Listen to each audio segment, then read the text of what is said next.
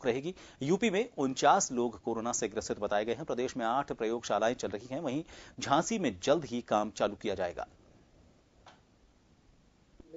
Appeal अभी पुनः दो बार की है कि जो भी व्यक्ति जहाँ भी रहेगा, उसकी व्यवस्था वहीं कराई जाए।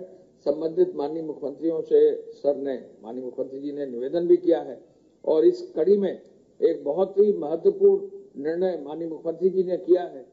कि वरिष्ठ स्तर के अधिकारियों को हर प्रदेश का प्रभारी बनाया है। हुए अठारह मोबाइल वैन हो गई हैं और मोबाइल वैन जो मोटर चलित हैं वो सात हज़ार आठ हो गई हैं और मोबाइल वैन जो मैनुअल है वो ग्यारह हो गई हैं।